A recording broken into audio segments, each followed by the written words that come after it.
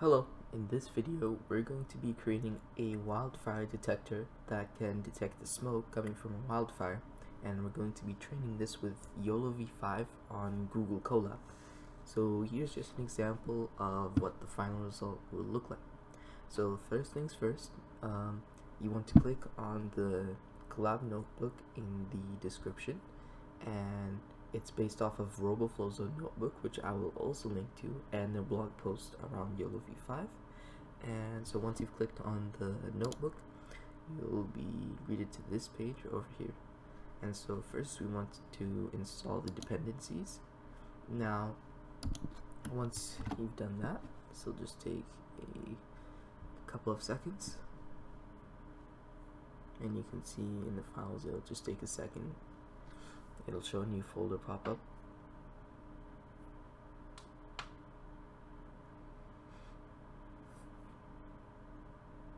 Alright, so now we just want to check what GPU we have, and here we have a Tesla V100, so that's pretty good.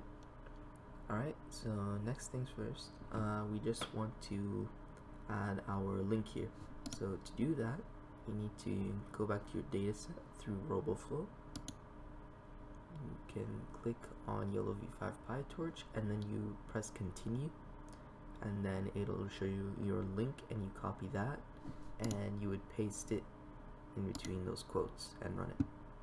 Okay, now once you've done that, it'll finish off with a couple of readmes here, but it's exported all the uh, CSVs or uh, XMLs or whatever format we just put it in, which was the YOLO v5.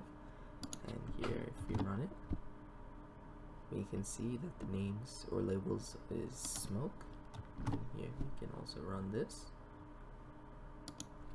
And now we have our YOLO v5 folders.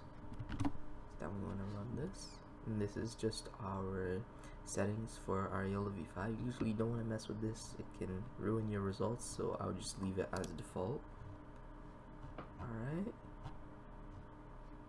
And we have this we can run these. You need to worry about that. Okay, so now we've come to the training part. Make sure your images are as many you have in your dataset, which is in this case 737, and we've set our batches to 32 and our epochs to 1000.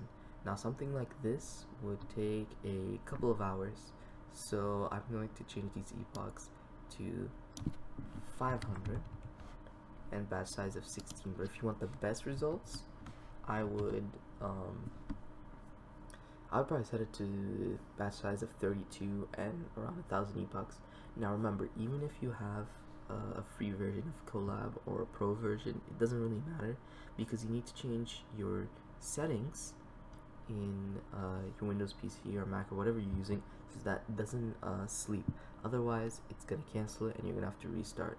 Your runtime's gonna reset. So make sure you set that. Okay? And once you've set your setting all you need to do is just run the cell. So you press shift enter and if you want to see your TensorBoards results you can also run this. This will pop up a screen after your model has finished training. So something like this would probably take 30 minutes to an hour something like that. It, it really depends Okay, so once you're done training, all you need to do is run this cell down here, and this will save your model to one of the folders in here, so this do the same thing. Now here you can test it on images, but in this case, I want to test it on a video. So now, here's our line to do that, and our model is just called best.pt. You're just going to run that, and then it's gonna create a it's going to create a folder for you or a video mp4 in one of these folders and you can just download that and open it. So I do want to mention that you have to upload your own test.mp4 or just like a test video and you have to make sure to put it in the YOLO v5 folder otherwise it's gonna think it's missing. So you want to make sure to put it there and make sure you put the right name of the video. So if its name is like test then you want to put test.mp4 over here. And now it should give you a video file in the um, Colab and you can just download that and test it. And it should look like something like this. And yeah that's pretty much it for this video. Make sure to like and subscribe and thanks for watching